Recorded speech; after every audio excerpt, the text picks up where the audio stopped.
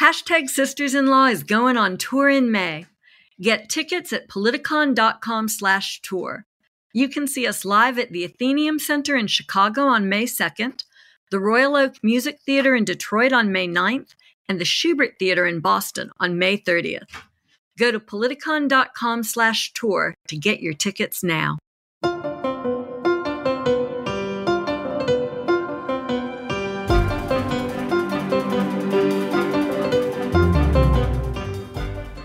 Welcome back to Hashtag Sisters in Law with Kimberly Atkins Stohr, Joyce Vance, Barb McQuade, and me, Jill Wine-Banks.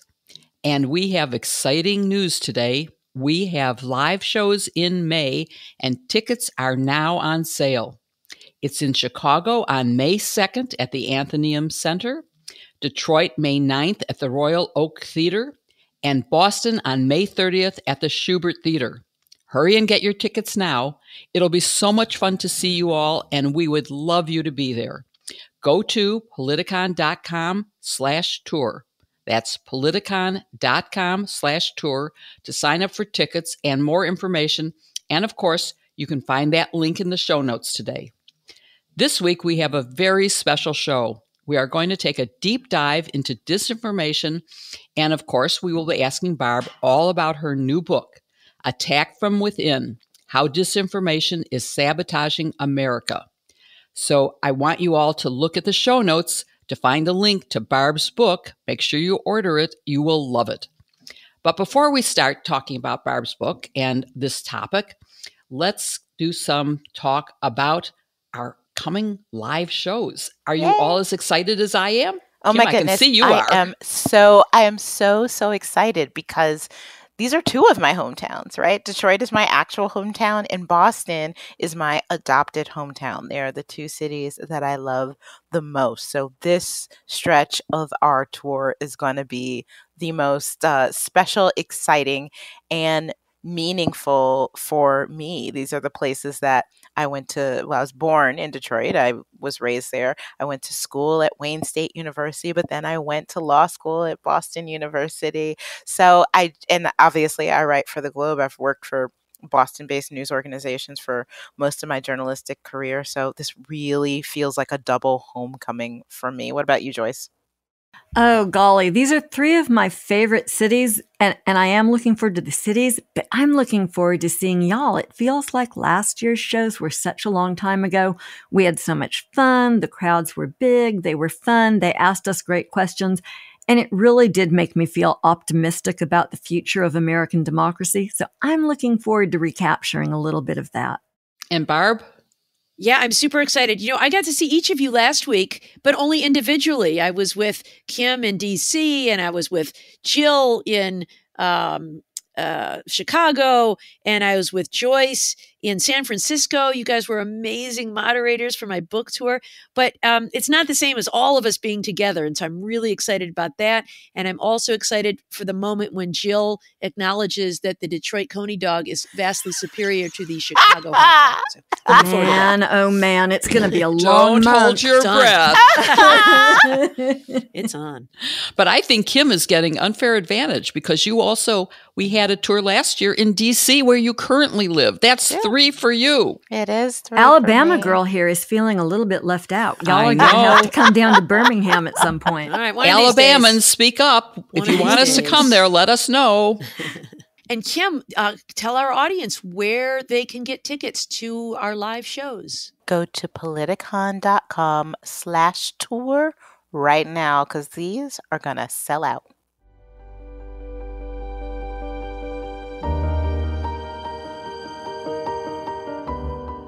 Barb, I know you have a lot of deep thoughts about foundational garments. Can you share them with us?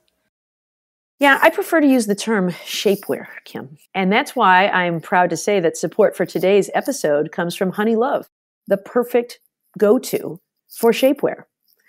Honeylove has revolutionized compression technology so you'll never feel like you're suffocating while wearing effective shapewear. Plus, they won't move around no matter how active your day is. Honeylove Shapewear features design details that you'll want to show off. Plus, their breathable fabric will keep you nice and cool. For a limited time only, you can get Honeylove on sale. Get 20% off your entire order with our exclusive link, honeylove.com slash sisters. Support our show and check them out at honeylove.com slash sisters. So, Barb, I know that you would never want to show your shapewear, but you don't have to worry about that with Honeylove because comfort is the key. Nobody likes being stuck in uncomfortable clothes, which is why Honeylove's best selling Superpower Short is one of our favorites.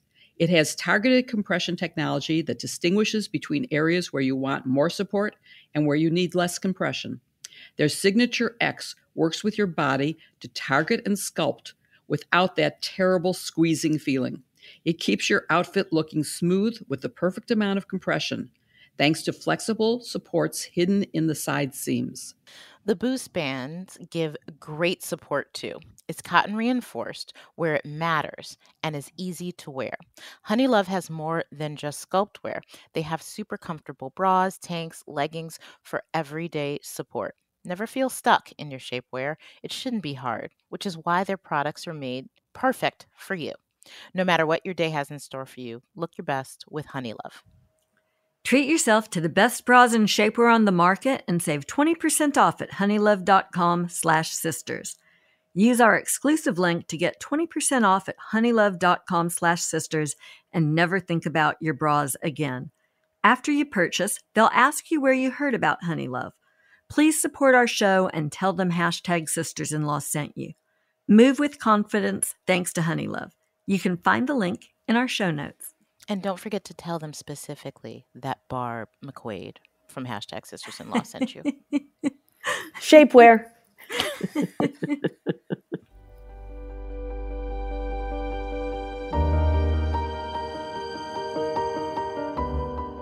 I'm so excited to be talking to you today, Barb, about your book.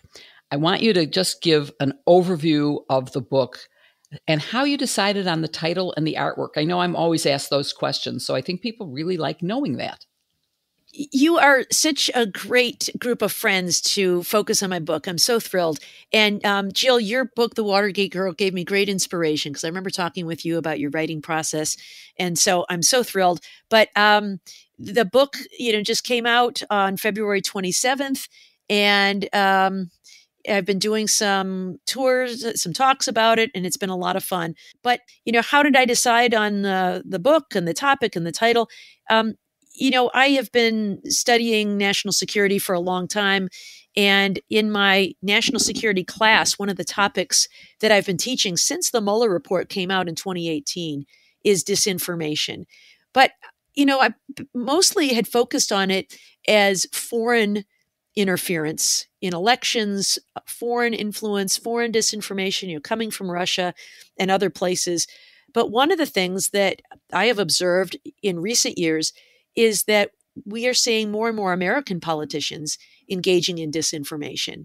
And it is difficult to have democracy and self governance if people are lying to you about what the facts are. If we cannot agree on facts, it is impossible to have self governance. As Liz Cheney said during the January 6th hearings, we cannot have democracy without truth. And so that's where the title Attack from Within really comes from that disinformation is sabotaging America, it's harming our democracy, it's harming our public safety, it is harming the rule of law. And so that's the idea. And then in terms of the cover, um, there is a uh, a man named Rodrigo Corral who is the designer. He actually designed the cover of Jay Z's book too, so he's cool. a, a, fancy designer. And um, he designed a whole bunch of prototypes for the cover. He did about ten different ideas and shared them with me. And I really like this one, which is a white right fist punching through a map of the United States because it's the idea is the attack is coming from within the United States. It is a right wing, far right agenda. It is destroying, you know, what it perceives as blue America, this idea of, you know, us versus them. But it also has shades of the United States on a globe because it has an impact on where we stand in the world and it is undermining our own standing in the world and democracy in the world. So it has a lot of meaning. And plus, I like the color blue because, you know, Michigan go blue. So um, beat to so the AR, beat to the McQuade. All right. The Jay Z fans understand what I did. hey, Barb, I have a question. You know, books obviously don't don't get written overnight. I mean, you spent a long time working on this book, you happen to land on a topic that would be in the forefront of everyone's mind exactly when it published.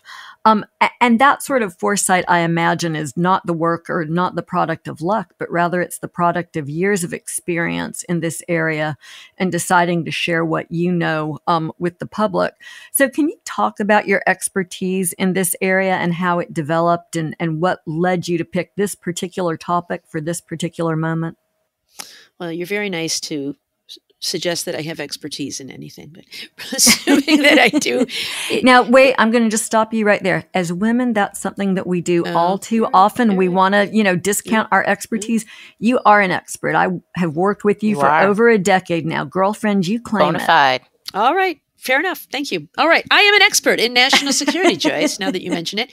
Um, as a an assistant U.S. attorney, before I became U.S. attorney, my area of focus was national security. And in the early days after 9 11, the focus was Al Qaeda. And then we saw it evolve to ISIS. And then it evolved to cyber. And then it evolved to Russia. And um, now I think it has evolved to disinformation. I think it is the greatest threat to national security that we see. And so, uh, as I mentioned, I've, i teach a course at Michigan Law School in national security and civil liberties. I'm really interested in the tension between, you know, threats to our national security and our rights of free speech and privacy and other kinds of things. Um, and I see this as a really serious attack to our democracy, to our national security, to the rule of law um, because um, we need truth to be able to sustain our democracy. And so I, um, began teaching portions of the Mueller report. And then I started reading everything I could about disinformation because I found it so fascinating. And I've had some wonderful guest speakers come to class Asha Rangappa, who is a former FBI counterintelligence agent, Clint Watts, who uh, studies disinformation for West Point, have spoken to my class. And so I've learned a lot about it. And then um, you know, the idea for the book actually came. I wrote an op-ed eh, that appeared in the New York Times about the importance of the Secretary of State office in that that it would be in the upcoming 2022 election. So this was like, you know, I don't know, 2021 or something. And an editor saw it and said, "Hey, how would you like to turn that into a book?" Because uh, I talked about you know uh, disinformation in elections and why the Secretary of State position would be so important in defeating it uh, or not. Uh, and I said, well, you know, it was a thousand word um, essay. And uh, that's about all I got to say about that, a thousand words. but we got talking, and I said, but I think I got a lot of words about disinformation more broadly and the threats that it is posing to American democracy. And so um, he said, why don't you write up a proposal on that? And so that's, you know, where the idea for the book came. And, um, you know, then I just, as Jill once said, like the work just started to flow. Uh, I had a lot of ideas about that and you know putting that in an outline form um, is is you know once i had an outline form man i had a, a lot of thoughts and, and the book began to write itself so what did t- barb tell us about the process of writing because that seems so daunting for me as somebody who has never written a book or has not yet written a book. What was the best part and what was the hardest part? Yeah and you know we we've all discussed our writing process before and i would love to hear about your writing processes because you know jill has written a book and kim you write a weekly column which puts a lot of pressure to you know come up with new and fresh ideas. Um, joyce you're writing this uh, uh, your substack and you uh, crank it out. I'm always impressed in how timely you are with what you write. So i'd love to hear about all of your processes. And i've read or listened to a lot of books on the writing process. Robert caro has a great one. You know he's the biographer of lyndon johnson. He's got a great one on the writing process. Stephen king has a great one on the writing process.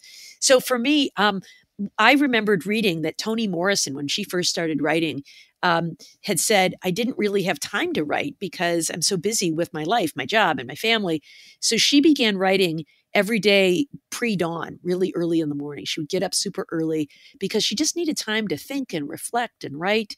And that's how she did it. And so uh, I decided I would do the same. So, one of the things as an academic, I have space. I have summers when I don't teach. And so I had some time then to do a lot of thinking, writing, outlining, and, and that was great. But once I got back, you know, to the, the semester, I started getting up at 6 a.m.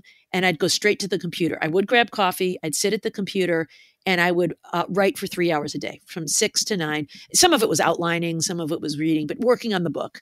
Six to nine every day. And I said to myself, that's all I'm going to do. And at nine o'clock, I put it all away and I get on with my day job and my other responsibilities. And that worked pretty well because um, it gave me discipline. And during those three hours, I worked with some urgency. And there are times when I got really carried away and loved it. And I'd, I'd look up and it'd be 10 or 11 o'clock. Um, and mostly it was good because it gave me space to do other things. Uh, I will say, as deadlines approach, there were times when I had worked more than just three hours, you know, on weekends and other kinds of things. Um, but mostly it was a labor of love and I enjoyed it. There were times when, you know, that phrase, you have to kill your darlings. You probably have all experienced that, where I'd write something that was super fun and I thought it was brilliant. It was great. And then I thought, yeah, that doesn't really belong in this book here at all. Um, I followed Robert Caro's advice to have a thesis. Uh, you know, just a couple of sentences, and if the book, if the, if what you wrote didn't really fit that, then it didn't belong in this book. So, but I did do the thing that um, one of them advised, which is you don't have to destroy it or delete it. Just set it aside somewhere in a little file and tell yourself maybe I'll use that again someday in some other project. You know, uh, who knows whether I'll ever use it again, but it makes it a little easier to cut if you think that it's not going to go um, for nothing. It'll be just something I'll have that I can use again someday. You know, it's funny when we went into the pandemic and we were all doing hits from our homes. There was a joke going around, and I have a copy too that uh, Robert Caro's "The Power Broker" was on mm. everybody's yeah, yeah. So, so maybe, like maybe in the future, uh, your book will be on everyone's. Well, mine, yours is already on mine, but it will be you. on everybody's bookshelf the same way that "The Power Broker" is. One can only wish. So, what about your other? Possibilities, Kim, on how you write. And Joyce, you do it daily. Yeah, you know, I write quickly, but I procrastinate a lot. So the two together tend to work out because the closer the deadline comes is the closer to when I usually start the writing process. Um, my husband is funny. He's always, you know, I'll be talking to him about some ideas I'm still processing for a column over breakfast. And then, you know, later that night, he'll be like, How's the column coming? And I'll say, Oh, I filed that at noon. And he's like amazed. But that's what I do. I ruminate and ruminate and ruminate. And then I just sit down and write it and it's gone. Um, so I, I would have to be a lot more disciplined if I were to write a book.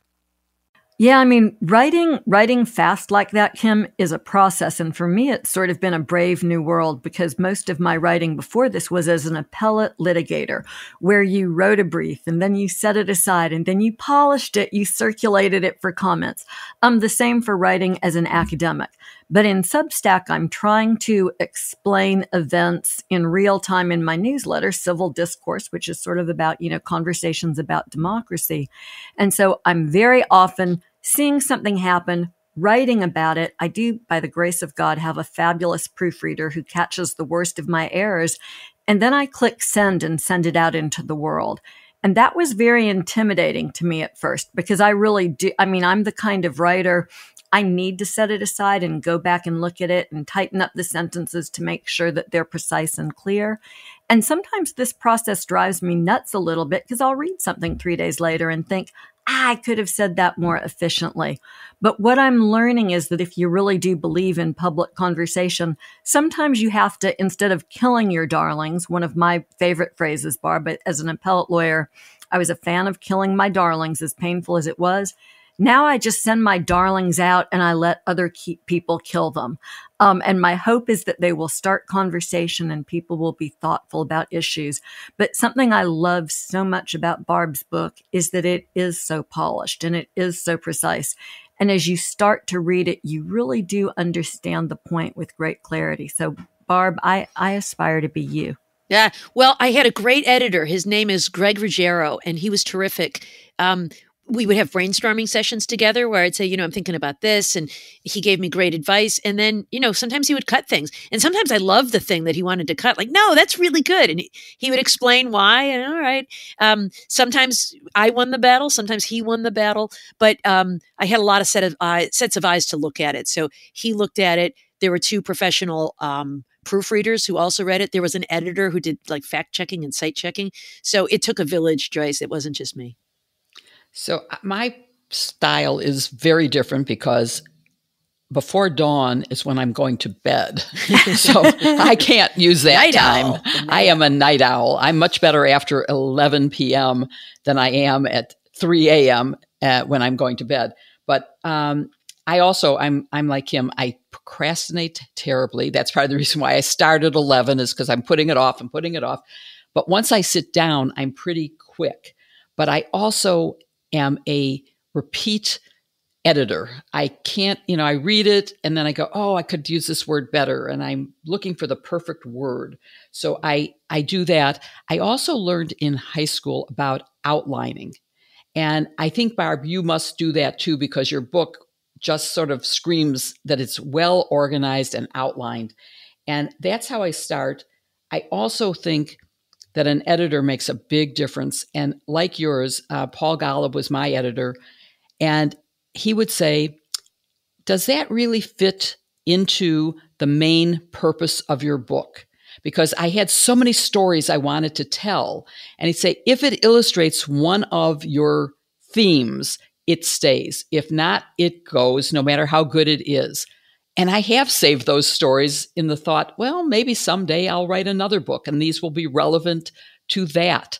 Um, and I, at one point, I switched how I was writing to I had given a speech um, at Chapman. I'm sorry to say, um, law school, and only because of who it's now associated with. And the audience loved it. They said they felt like they were watching a movie. And I thought, okay, I was talking to them like I would talk to a group of friends. And I'm going to use that way of writing this book. I'm going to just write it as if I'm talking to friends. And that seemed to work for me and it made it easier to write.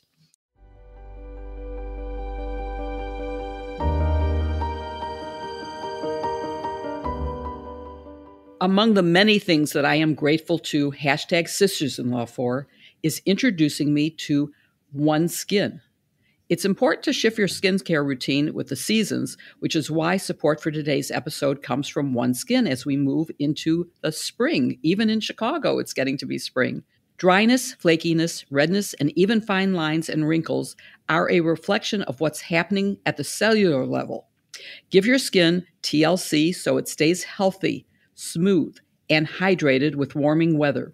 OneSkin's products are powered by their scientifically proven peptide called OS1.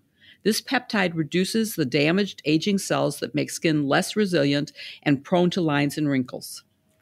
Instead of hiding them, OneSkin works at the cellular level by boosting your skin's natural barrier to lock in moisture and help protect against the elements. They have a full line of face and body products, including OS01 Shield, an SPF that prevents UV induced aging and repairs cellular aging all at once. For a limited time, our listeners will get an exclusive 15% off OneSkin products using the code SISTERS when you check out at oneskin.co. That's oneskin.co. No matter the season, keep your skin looking and feeling healthy with OneSkin. You know, I travel a lot in between DC and Boston, which has which could not have different climates, uh, especially given that it's not that big of a difference. I go from humid, moist air to cold, dry air back and forth all the time. And I have to tell you, the travel kit from OneSkin is a great companion. I always know I'll be at my best the minute I step off the plane, and the formulas feel amazing to apply, especially on my face and neck. The regimen works so fast, and it was really easy. It's like a vacation to the fountain of youth, and I never go anywhere without OneSkin, and I know you'll love it too. OneSkin is the world's first skin longevity company. By focusing on the cellular aspects of aging, OneSkin keeps your skin looking and acting younger for longer. Get started today with 15% off using code SISTERS at oneskin.co. That's 15% off oneskin.co with code SISTERS. After you purchase, they'll ask you where you heard about them. Please support our show and tell them we sent you. New year, healthier skin, that's OneSkin. Help your skin stay younger and healthier for longer with OneSkin. Find the link in our show notes.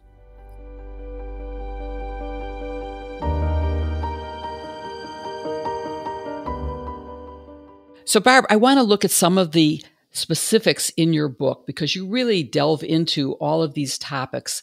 And let me start by asking you to talk about some of the tactics you discovered are used as part of disinformation. Yeah. So, uh, you know, in the, the research that I did here, I found about uh, a number of different tactics that get used by disinformers. Um, one is something called the either or fallacy. And this is something debaters know about. And that is, I'm going to frame the issues as if there are only two sides to every argument. There's no room for nuance. You're either with us or against us. Uh, it's red America or blue America, Republican or Democrat and there's no room in between. And then I am going to demonize my opponent and make them look so bad that they are a completely untenable choice, so that the only choice you have left is me. And so by by doing this either or fallacy, people are uh, polarized that we only have two choices in this world. And of course, the world is far more nuanced than that. I think um, another thing that we have seen is this idea of people preferring tribe over truth.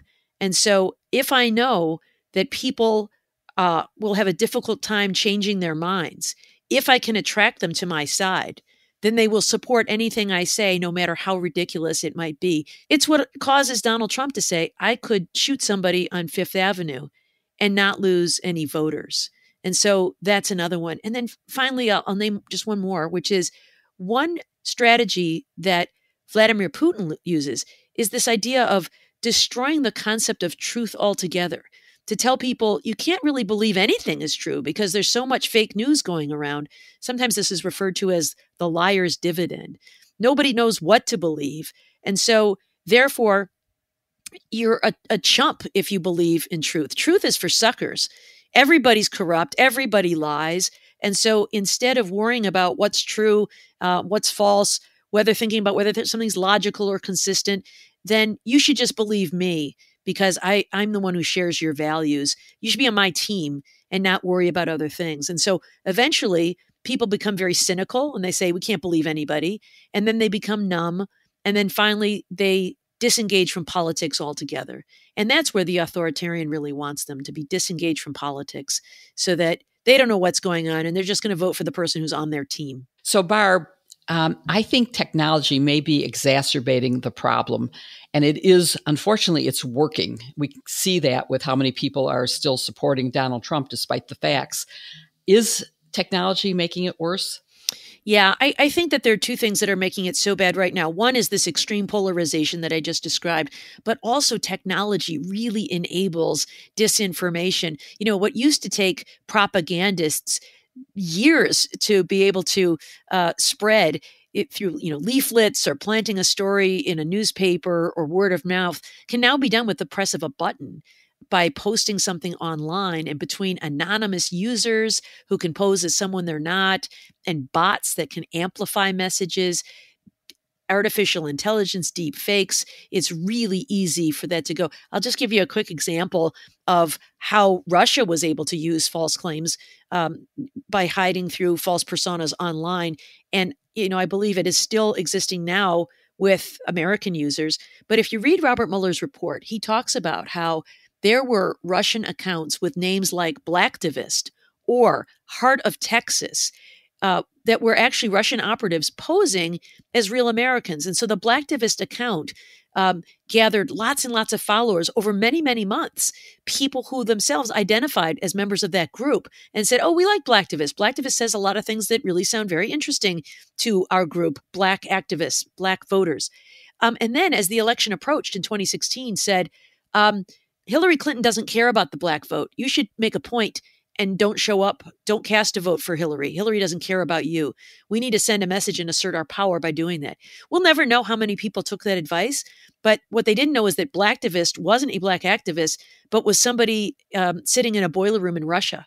Similarly, with Heart of Texas, people thought this was a Republican uh, grassroots activist in Texas who was saying, you know, normal Republican things. Uh, we care about lower taxes, smaller government, te- you know, go Texas, heart of Texas, pride of Texas. And they were following, following, following, and then started saying Texas should secede from the Union. And people started mentioning that and saying, hey, that's a good idea. And that actually ended up on the Republican Party platform in the 2016 election because it was suggested by a Russian operative. So it just shows you how effective somebody can be with these false personas online. So technology is clearly exacerbating the problem. I mean, I'm sure some of you have seen some of these incidents online. You know, it's really interesting. I just did a panel um, on election law and voting rights at a University of Alabama Law Review Symposium. One of my panelists, Michael Li from the Brennan Center, was talking about some work that they've done and how easy it is to generate a deep fake off of just a few sentences. Um, and how even the people who the deep fakes are being created of will listen to the deep fake and go, wow, that really sounds like me. So, I mean, Barb, to that point, you know, I, I had a phone call from one of our former U.S. attorney colleagues in New Hampshire. And y'all may remember it's been, I guess, a couple of months or six weeks now. But on the eve of the New Hampshire primary, there was a deep fake of Joe Biden circulating. And what it said was, save your vote until November. Don't go out and vote now. And you know, for for folks who are um, used to listening to Joe Biden, I don't think it used the word malarkey, but it was that classic sort of it Bidenism. Was it, it malarkey? It did say malarkey. Yes. I mean, it it it really did. It it used his sort of language, and the impact of that sort of thing. I mean, this is this is the modern AI version of what many of us um, who litigated voting issues in the Deep South were used to. These postcards or robocalls that would go out on the eve of election into Democratic areas, telling people. Don't forget to vote on Thursday, you know, November 12, when in fact election day was Tuesday, November 10th. Um, and that sort of pervasive misinformation is really accelerated by AI in some dangerous ways. And, and another way that AI is being used in a dangerous way is that we have seen Donald Trump a number of times on the campaign trail when confronted with actual evidence of things that he did and said, like confusing, uh, you know, Nikki Haley for Nancy Pelosi and other things. Saying, "Oh no, I didn't really do that. That was AI." Like even yeah. though he's doing this thing in front of a live audience and people saw and heard him do it, he's dismissing it as you know that's just AI. And you know that there are some of his supporters that supporters that are going to believe that. And that is another form of misinformation. He's not, it's low tech, but it's using the existence of high tech to perpetuate another kind of disinformation.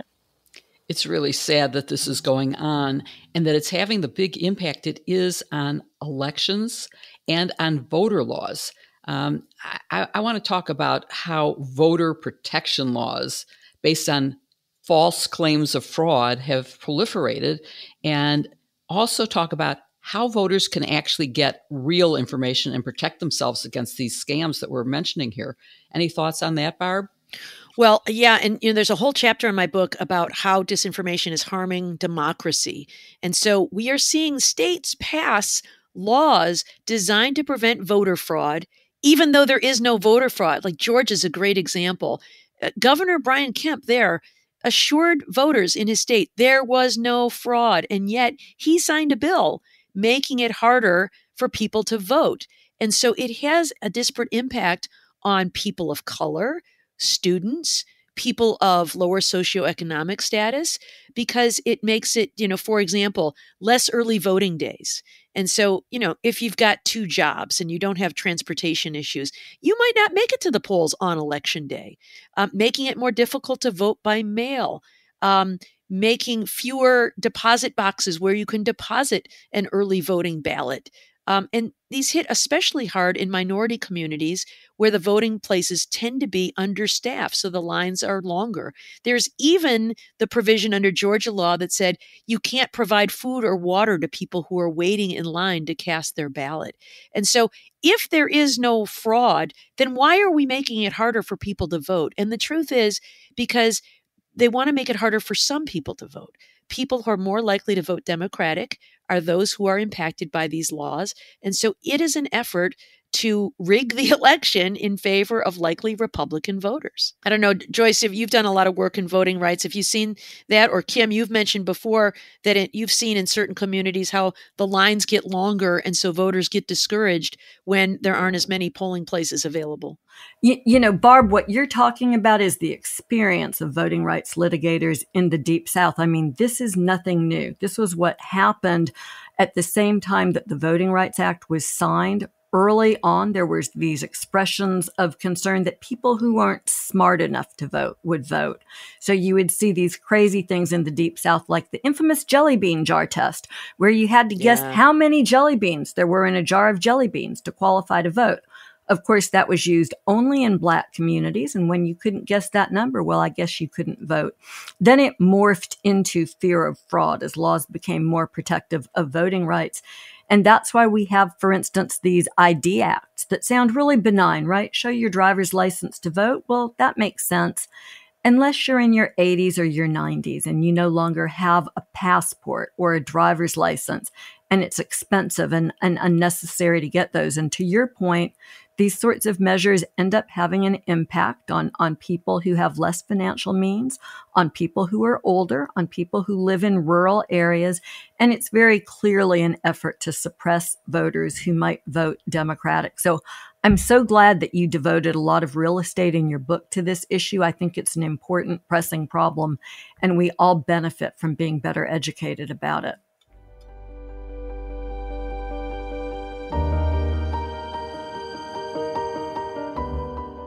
Boy, I cannot keep my Osea Malibu products in my house because my daughter steals them every time they show up uh, in my mailbox. It's uh, just such great stuff. A good body care routine promotes healthy, glowing skin and even improved mental health.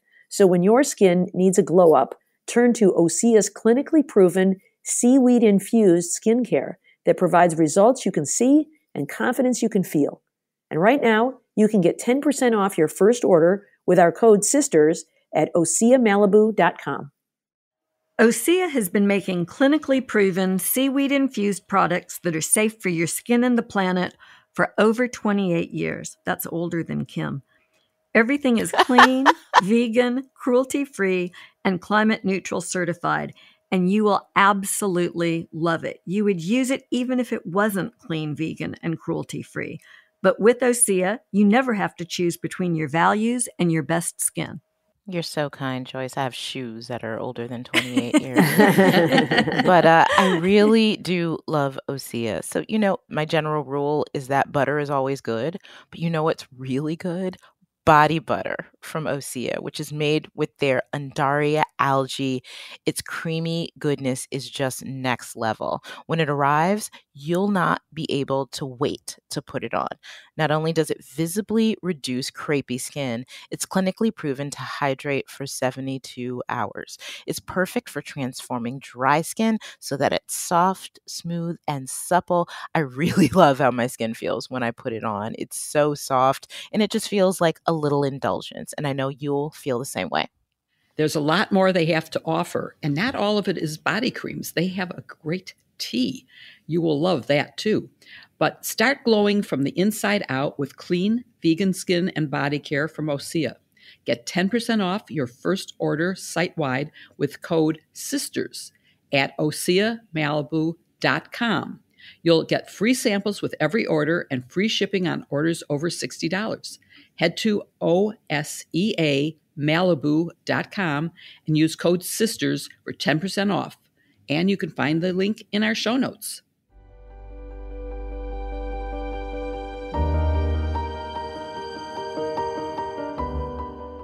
Barb, we've talked about some of the serious threats to our country from mis and disinformation. But you do focus on some solutions in your book that can protect us from propaganda and fake news. And I would like you to start uh, by discussing some of the things that are solutions to these problems that can protect us. Yeah, I'll, I'll, I'll share a couple of them, and um, some you know require government intervention, but some are things that we can do ourselves. You know, I don't think we should put the whole burden on uh, on on us uh, individuals, but um, you know we should we should uh, certainly work to build resilience against disinformation.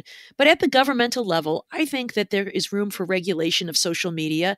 I'd be interested in your thoughts about, um, you know, the extent to which social media can be regulated. There's always this argument that anything you do with content will be deemed censorship, and the best uh, response to speech is more speech.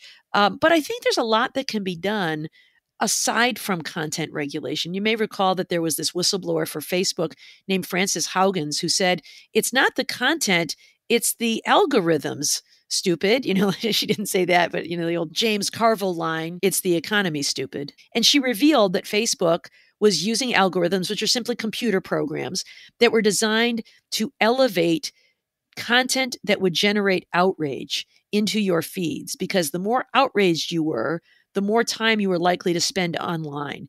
And outrage generates outrage. And so, um, online conversations become this, you know, one upping and these arguments online. Um, and I think that we can regulate algorithms without regulating content. Telling social media companies you can't manipulate people online with these kinds of algorithms, or at least requiring disclosure of what those algorithms do. Uh, if you're going to have manipulative algorithms, you have to tell people about it. Um, I also think, and this one's a little more controversial, that we could eliminate anonymous accounts. You know, there is First Amendment precedent by the Supreme Court favoring anonymous uh, messaging, anonymous speech uh, when it comes to leafletting.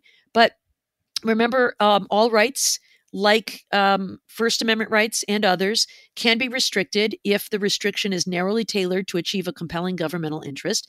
And I think when it comes to online speech, if you can have Blacktivist or Heart of Texas fooling people, maybe we ought to require people to use their own identities and you know back to the old twitter days when you had to actually provide a driver's license to get a blue check to, to verify that you were who you said you were instead of now where if you simply pay a sufficient fee you can get a blue check from elon musk requiring social media to use um, uh, non-anonymous accounts or prohibiting the use of bots. You know these are these ai generated accounts that can like and share a message and make it look like it's exponentially more popular than it really is. So, those are some ideas uh, on the government side. I also have some ideas on the individual side, but maybe I'd be interested in your take on whether you think that would comply with the First Amendment if we were to to do some things like that before we talk about individual solutions. So I think that they can. I think that the First Amendment, obviously, First Amendment protections are very important, and it's one of the most uh, you know strongly and clearly stated amendments that we have but i think that there is room for that. I mean think about the fact we've been regulating uh, commercial speech for a long time and then we have put limits on it and we regulate um, the information that goes over public utilities and across the broadband. So i think in the interest particularly in the interest of national security there's got to be room for some of the common sense things that you talk about of the question will be ultimately, right, once this gets to our Supreme Court, what they think about these First Amendment protections. So it's hard to theorize about them, at least for me. Um, I think that it makes perfect sense to be able to limited in this way. And I think, listen, the Supreme Court has a lot of cases on its docket and more teed up that sort of gets to where the social media regulation can be done. So I think we'll get a little clearer picture pretty soon. But I'm, I'm going to venture and say, I think, yes, Barb. I think what you say, sh- there's plenty of room within the First Amendment to do that. I always think it's interesting to reflect on why we didn't get some um, litigation or some regulation in the social media space early on. And it had a lot to do with the fact that you had members of Congress who were older, who didn't use social media, didn't even send emails in some cases. And, yeah. and yeah. you just couldn't convince them that it was important to get into this space. So the Europeans are ahead of us. Of course, they don't have the First Amendment in the sense that we have it, but they have put some meaningful rules in place. Often the social media companies are forced to respond to their rules in in the absence of any sorts of standards in our country and i think seeing that some of that is beginning to bear fruit barb makes the sorts of proposals that you make really meaningful really timely Congress needs to sort of take this on as a moonshot project to get up to mm-hmm. speed mm-hmm. and to put in some some um, restrictions that respect the First Amendment, that but that are meaningful for the future of accurate information in this country. And and I'll just um, make one additional sort of unpopular suggestion, which is I am a huge fan of civics education, which is sorely lacking in this country. Yep. Yeah. It's complicated, right? Because now education has become the new political fighting ground. um, and, and all sorts of stuff going on there. But we do need to give all Americans a baseline of understanding about how the Constitution and the rule of law work. The younger, the better. And, you know, there's going to be opposition to that, right? In the Republican camp, where instead they're trying to put religious education back into the schools. But I think we need to make this one of our primary long term political goals and fight for it. That is one of my most passionate um, feelings right now is civics education. And I would pair that with critical thinking skill training because that requires, for example, don't just read something, read from multiple sources. When you're reading online and there's a link to the underlying facts, click on the link and read that and form your own opinion. That's all part of critical thinking. And I think if we don't have that, we're going to continue to have people saying, oh, I'm just listening to the things that reflect how I already feel. And then we're going to have more and more of the divisiveness in our country. So I think all those are important. And I just want to add, I, I definitely think the First Amendment allows, and I'm a ACLU card carrying member, was on the board. I think there is room for some restrictions on speech, or at least on the algorithms that are being used to make profit. That's not speech. Um, although in this age, the Supreme Court sometimes says corporations are people and things are speech that I wouldn't consider speech. But I think we could easily get those kinds of things regulated and that that would make a big difference or even educating me about how do i know when it's a bot you know yeah. if if it's yeah. something that you know got i look and they started on twitter a day ago okay i'm suspicious but I I wouldn't mind having some clues. There's now some clues of how you can tell deep fakes, and I'm starting to look at things more skeptically and more carefully because of that education. But I think we could use more civics and more critical thinking and more details of how you know that these things are fake. Doesn't this sound like a really great future plan for hashtag sisters in law? Imagine a future. Trump has lost. He's no longer a feature of the political landscape. We're getting our democracy back together. And we could actually, you know, spend a good bit of time talking with folks about how you do critically think, how government should work, what we need to insist um, that our representatives do for us. I'm sort of liking this vision of the future. I think it's at least a imminent show for us that we should do a whole episode talking about this. So, so I do have some suggestions in the book about how how to uh, we can arm ourselves to build resilience against disinformation, and and these are some of the ideas of um, you know civics education, but also some tips on how you can avoid being yourself a victim of misinformation as a um, an unwitting dupe.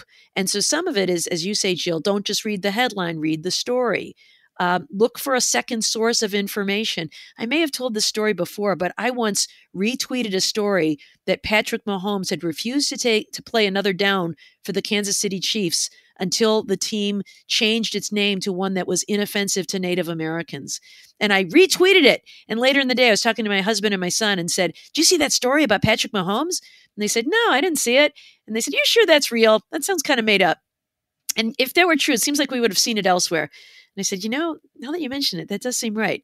So I went back and looked at it and I found that the source that had printed it was called uh, ESPN Sprott Center, uh, not not Sports Center, and so it was a fake, and I took it down. But it shows how quickly and easily we can take the bait if we're not careful. But you know, looking at the source, reading carefully what it is, looking for a second source before you retweet something. If that were true, it would be reported in a number of different publications. And Jill, you're, you're asking about how can you tell whether somebody is a bot? Um, sometimes looking at the name, you know, if it's Joe one two three four five six seven, um, and it's a picture you've seen again and again online, and if they have tweeted a million times, um, but they have zero followers, uh, that's a decent sign that it is a bot. But I also have one more piece of advice, and that is we need to refrain from piling on the snark that causes such polarization. And you see this from time to time where people will just pile in on on the trolling. You know, on the right, we see a lot of "Let's go, Brandon," um, and I think that when we engage in that kind of you know, polarized communication, it, it just feeds into this machine of choosing tribe over truth. And I think if we really care about truth, then sometimes we need to reconsider our own position or at least refrain from piling on into this polarization.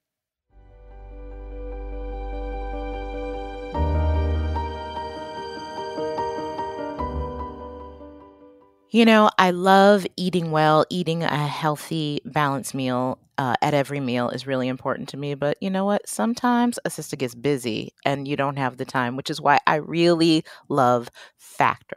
Eating better is so much easier with Factor's delicious, ready to eat meals. Every fresh, never frozen meal is chef crafted, dietitian approved, and ready to go in just two minutes. You'll have over 35 different options to choose from every week, including Calorie Smart or Protein Plus, which I really love, and keto. Also, there are more than 60 add ons to help you stay fueled up and feeling good all day long. I personally love their mocha protein shakes, really delicious. So, what are you waiting for? Get started with Factor today and get after your goals. You know, I picked the Calorie Smart, and it is amazing how filling and wonderful their Calorie Smart meals are. And not only that, but think of how much time you'll save with Factor's two minute meals. They're restaurant quality and come ready to heat and eat whenever you're ready. It's great having easy options like pancakes, smoothies, and other delicious options ready to go for breakfast or a midday snack or any other occasion. In fact, I just had a fantastic shredded chicken taco bowl before the show. You'll be amazed at how much time you can save. You know, it's really interesting. I had taken a bunch of factor meals and put them in our refrigerator without saying anything to my family. And they started disappearing. And when they were all gone, my husband literally said, Hey, can you get more of those? And I said, You know, it's a new advertiser on our podcast, so I'll be happy to. Very enthusiastic response in my very demanding household. And since factor meals are ready to heat and eat, there's no prepping, cooking, or cleanup needed. Even better, Factor is flexible to fit your schedule. You can get as much or as little as you need by choosing your meals every week. It's just so easy, and you can pause or reschedule your deliveries anytime.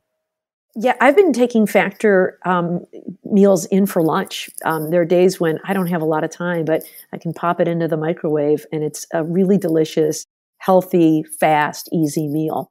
Factor is less expensive than takeout, and every meal is dietitian approved to be nutritious and delicious. Just sign up and save. Factor is the perfect solution if you're looking for fast, premium options with no cooking required. That is me, baby.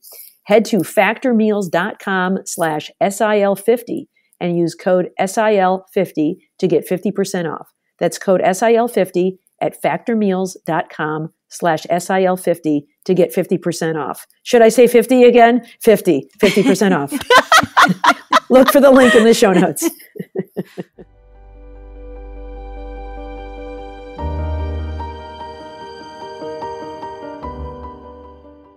We're now going to take questions from our listeners, and we love getting those questions. We love thinking about what you ask us.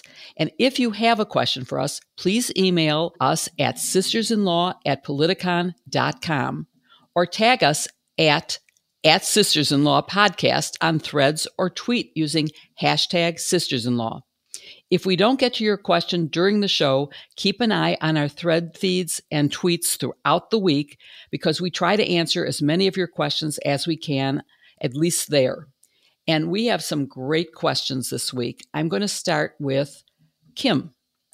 We have a question from Laura in Newbury Park, California. And Laura wants to know can legal counsel be sanctioned or otherwise disciplined for submitting and claiming as factual known false, legally inaccurate, or constitutionally incorrect statements in a brief submitted to a court of law? Oh, that is a great, great question. And the answer is yes. At both the trial and appellate level, there are rules uh, that are uh, called the rules of civil procedure or the rules of criminal procedure, depending on the case, that govern what you can and cannot do and provide for sanctions for attorneys who fail to adhere to those rules. So, for example, um, if you file a complaint or a motion to dismiss or something like that, and you fail to adequately back up the claims that you are making, you can be sanctioned, you can be fined, it, and it's very serious. And on the appellate level, at certain courts, if you do so repeatedly, um, before you get on a federal court, for example, you have to be admitted to the bar of that court. So I was admitted to the um, district court bar before I argued at the federal district court. I was admitted to the First Circuit bar before I was able to uh, argue there. And the same is true for the Supreme Court. You can lose your bar admission to the court that you're arguing before if you repeatedly defy those rules. So there certainly are consequences for attorneys who flout these rules. Joyce, we have a great question from Trudy that I'd like you to answer. She wants to know if Trump loses all his cases, will he be required to pay some of the court and DOJ costs? Ooh. Do taxpayers have any protections? This is really a great question. I mean, why should we be forced to bear the burden of this, right? I mean, we do as taxpayers. We foot the bill for our legal system in many significant ways, but particularly in a criminal case, when a defendant is convicted in a federal case, they actually have to pay a fine that's associated, a fee, a fine that's associated with each of the counts of conviction. And so, although it may not be meaningful for someone with Trump's wealth, he will have to pay, um, have court costs and fees assessed against him for cases where he loses. And in some ways, that's, you know, I mean, it may not be super satisfying, but at least it's a way of saying this is not a cost free proposition for him. And of course, in civil cases, it can be even more damaging because you may have to be reimbursing, if it's a frivolous case, for the lawyer's fees, and that can be significant. So, our last question today comes from Bruce. And Barb, I'm going to ask you to answer. He says, Suppose there's a natural born U.S. citizen who turns 35 between Election Day and the inauguration. Can she be president in 2025? I like his phraseology. Yeah, this is such a great question. So, um, I did a little research on this, and it is not uh, been decided. There was not has not been a specific case of this. Though there have been people who tried to run for president who are much younger than age 35, and the founders thought 35 would provide sufficient maturity and also a track record of experience so that voters would know a little bit something about this person. Of course, at the time of the founding, 35 was much older, relatively speaking, than it is today because life expectancies were um, much shorter. But there's a great example Bruce, that suggests the answer is yes. You know, Taylor Swift is 34. Um, but will be, turn 35 in December, so could be elected president as a write-in candidate. Think about it, and this is not a psyop. Um, but here's the pre- here's the precedent, and it is none, none other than Joe Biden, who was elected on November 7th, uh, 1972, when he was 29 years old, to the U.S. Senate which requires that senators be 30 years old. On November 20th, he turned 30 and he took office in January of 1973 after he had turned 30. And so, with that president precedent in mind, uh, if it works the same way for the president, then you could be 34 when you're elected, as long as you turn 35 before you take office on Inauguration Day in January. Of course, no one challenged Joe Biden's eligibility to be sworn into the Senate or to even run for Senate when he was 29. So maybe if someone had challenged it, we would see some defeat to that. But um, uh, as it stands, uh, because it was unchallenged, he was able to assume office. Thank you for listening to hashtag Sisters in Law with Kimberly Atkins Joyce Vance, Barbara McQuade, and me, Jill Wine-Banks. Remember, you can send in your questions for next week by email to sistersinlaw at politicon.com. You can also tag us at, at sistersinlaw.podcast on threads or tweet using hashtag sistersinlaw.